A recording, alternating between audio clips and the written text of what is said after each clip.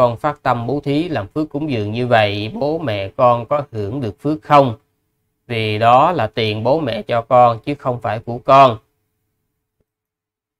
Quý vị nhớ dùm tiền bố mẹ cho mình thì nó đã là của mình.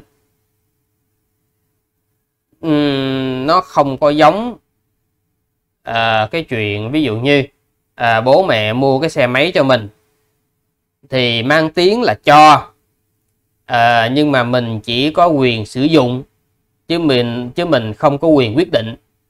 Tức là gì? Chạy thì được. Được chạy được sửa nhưng không được bán. Đấy. Thì à, cái ý nghĩa của cho đó tức là khi cho là đó thuộc tài sản của mình. Chẳng qua là do bà mẹ cha mẹ thì không có hiểu cho nên là khi uh, khi cho thì hoàn toàn thuộc về mình rồi. Lúc đó mình có bán thì nó cũng là của mình. Đấy.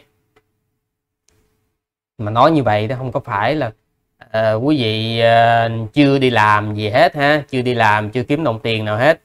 Rồi cha mẹ mua cho mình cái xe mình để mình bán cho đã rồi đó.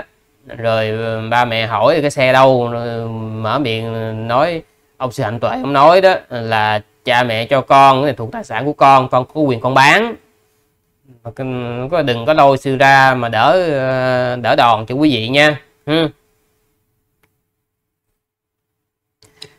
Đấy, còn trên nguyên tắc ấy như sư nói khi mà cha mẹ cho tiền mình nó thuộc quyền của mình nó đã là của mình rồi và quý vị có làm cái gì thì nó cũng không còn liên quan tới bố mẹ nữa à, còn nếu như mà quý vị muốn là làm phước cúng dường ấy thì à, quý vị à,